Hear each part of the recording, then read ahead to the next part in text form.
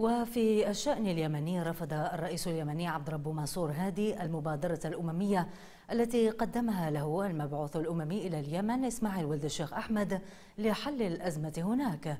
ونقلت عدد من وسائل الإعلام أن رفض الرئاسة اليمنية جاء لاعتبار أن المبادرة الأممية جاءت كهدية لحركة أنصار الله والمؤتمر الشعبي.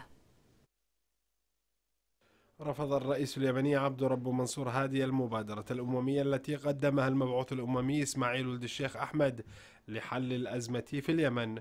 وأفاد مصدر رئاسي يمني بأن الرئيس هادي استقبل ولد الشيخ أحمد في مقر إقامته المؤقت في العاصمة السعودية الرياض بحضور نائب الرئيس علي محسن صالح الحمر ورئيس الحكومة أحمد عبيد بن دقر وأخبره بأن الخارطة تعطي شرعية لأنصار الله وحلفائه.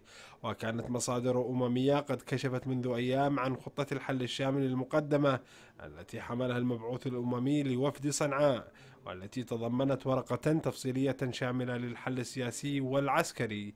وبحسب المصادر الأممية فإن خطة الحل الشامل تتضمن تسمية نائب توافقي لرئيس الجمهورية وأن يقدم النائب الحالي علي محسن الأحمر استقالته خلال 24 ساعة من توقيع الاتفاق.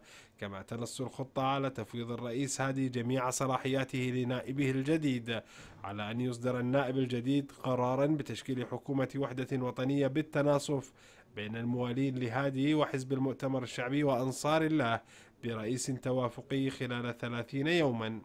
يأتي ذلك فيما انفجرت سيارة مفخخة اليوم قرب البنك المركزي في عدن ما أسفر عن وقوع إصابات في صفوف الحراس.